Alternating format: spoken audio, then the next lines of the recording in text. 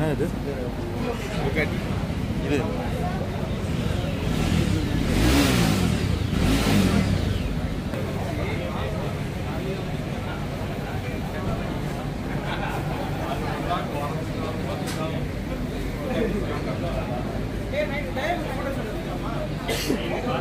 Thank you.